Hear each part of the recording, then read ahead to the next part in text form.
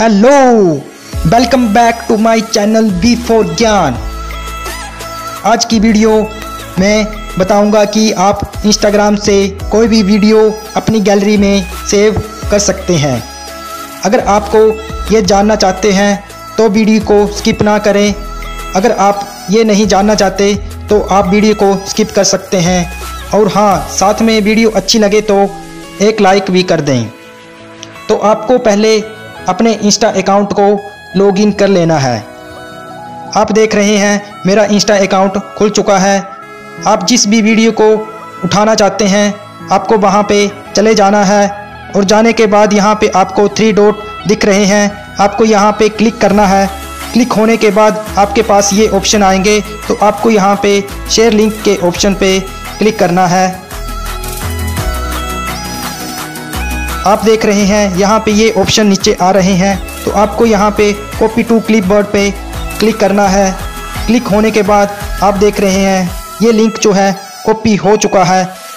आप, मैं अपने अकाउंट से बैक चले जाता हूँ और आपको एक एप्लीकेशन डाउनलोड कर लेनी है, जिसका नाम है वीडियो डाउनलोडर फॉर इंस्टाग्राम तो इस एप्लीकेशन को आप बड़े ही आसान तरीके से प्ले स्टोर से भी उठा सकते हैं या फिर मेरे डिस्क्रिप्शन बॉक्स में इस एप्लीकेशन का लिंक दिया हुआ है। तो आपको ये एप्लीकेशन ओपन कर लेनी है। आप देख रहे हैं, ये एप्लीकेशन ओपन हो रही है। तो आपको, आप यहाँ से यहाँ से देख रहे हैं। यहाँ पे ऑप्शन आ रहे हैं डाउनलोडर फॉर इंस्टाग्राम और फेसबुक तो आप इंस्टाग्राम और फेसबुक की वीडियो भी यहाँ से उठा सकते हैं। तो मैं सिर्फ़ आपको बताने वाला हूँ कि आप इंस्टाग्राम की वीडियो कैसे उठाएँ और यहाँ पर रिमूव ऐड भी कर सकते हैं। तो आपको यहाँ पे ये परचेज करने के लिए आ रहा है।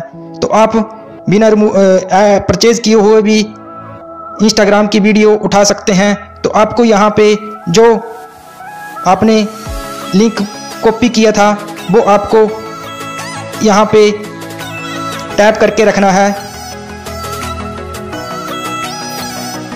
टैप करने के बाद आपको वो पेस्ट कर देना है। तो आप यहाँ पे देख रहे हैं जो वीडियो मैंने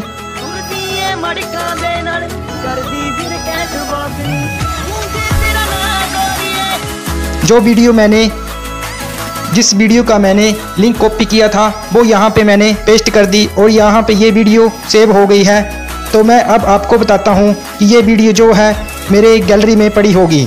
तो मैंने अपना फ़ाइल मैनेजर ओपन कर लिया है। तो आपको यहाँ पे मैं बता रहा हूँ। आप देख सकते हैं ये वीडियो यहाँ पे सेव वही वीडियो। तेरी चाकनी खाली ना करके वो वीडियो सेव हो गई है। तो इस वीडियो से आपको पता चला चला गया होगा कि आप वीडियो कैसे सेव करें।